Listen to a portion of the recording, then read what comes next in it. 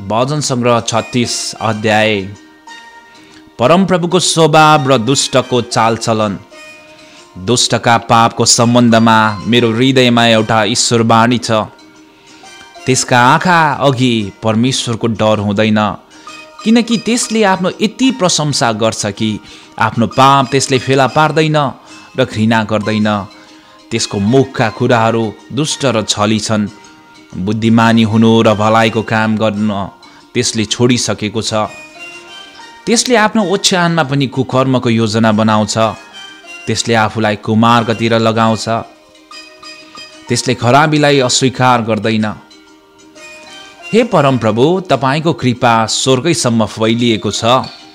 तपाईँको विश्वसनीयता आकाशसम्मै तपाईँको धार्मिकता विशाल पहाडहरू जस्तै छ। तपाईँको न्याय अगाध समुद्र जस्तै छ।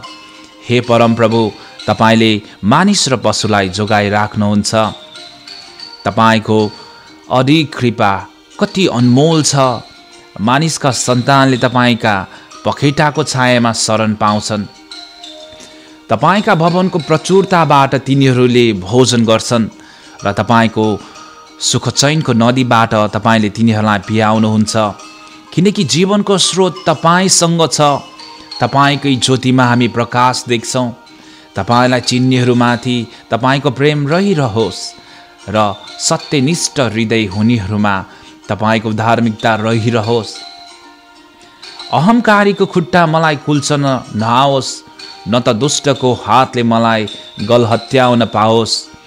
कुकर्मीहरू कसरी ढलेर लम्पसार परेका छन् तिनीहरू उठ्नै नसक्ने गरी पछारिएका छन्।